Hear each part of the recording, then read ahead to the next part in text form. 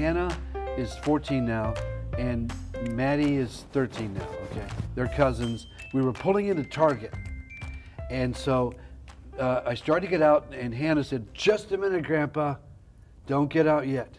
So she and Maddie locked the door, and they said to me, "We're not getting out of this car until you explain these four verses to us." Wow. Because here's what I said to them. I said, "If you can explain them to me, and get it right, I will buy you something really special Oh, in Target." right. And then and then they did. They expl- they heard it, and then they understood it. So then I went in and bought this thing, whatever they you know, wanted. But because I can't say no to my grandkids. Hey, listen Yeah. to this one. You probably if you I mean, see if you're like this. Uh, Hannah especially, but any one of them. She was. We were walking in Target on another occasion, and and her mom said, "Oh," uh, she said, "Hannah, now you know Grandpa's can't say no to you, so you are not allowed."